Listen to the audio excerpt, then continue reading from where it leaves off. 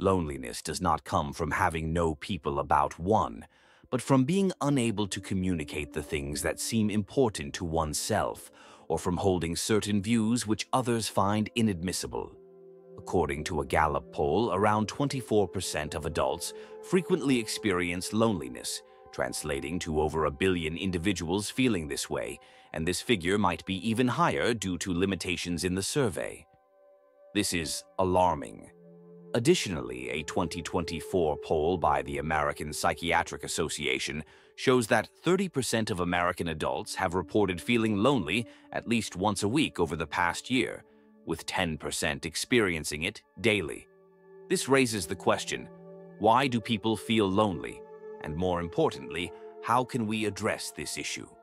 Carl Jung, a renowned psychologist and founder of analytical psychology, had profound insights on loneliness.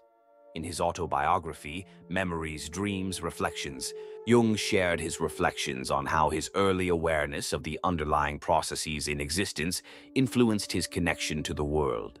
He pointed out that his feeling of isolation originated in childhood, a sensation that persists into adulthood, primarily due to his knowledge of things that others seem oblivious to or are unwilling to embrace. He argued that loneliness arises not from the absence of company, but from an inability to communicate one's significant thoughts and beliefs, particularly those that others might reject. Jung noted that real companionship thrives when individuals maintain their sense of self and do not lose their individuality amidst social interactions.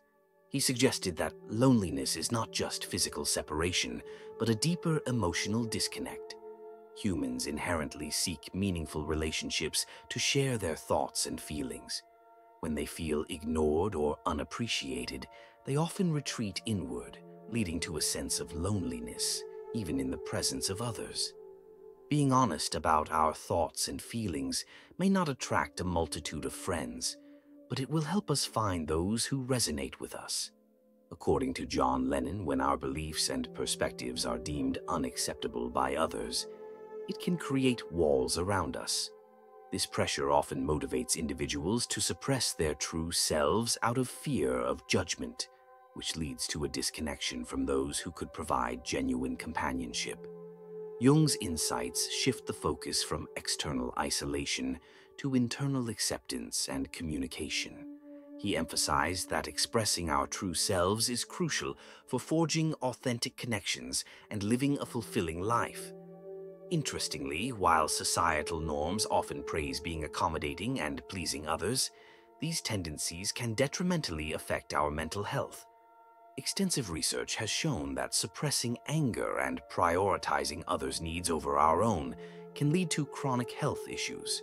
When we ignore our feelings and needs, whether consciously or subconsciously, it triggers stress responses that can harm our immune system.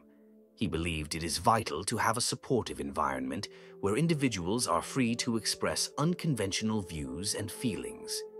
In his autobiography, he recalled the loneliness that stemmed from his childhood sensitivity and from playing and daydreaming alone without anyone to share his thoughts with, except perhaps his mother, whose admiration did not offer the connection he needed.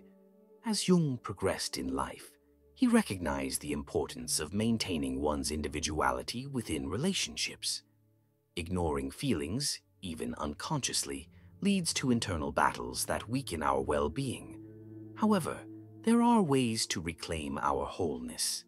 Psychologists constantly emphasize core human needs such as belonging, autonomy, mastery, genuine self-esteem, trust, purpose, and a sense of interconnectedness. These needs are crucial for psychological and physical well-being. Reflect on how you feel when these needs are met versus when they are neglected. While it's commendable to care for others, it's essential not to lose sight of your own identity in the process. Speak your truth, establish boundaries, and prioritize your mental health. Your happiness and well-being depend on it. After all, you cannot pour from an empty cup.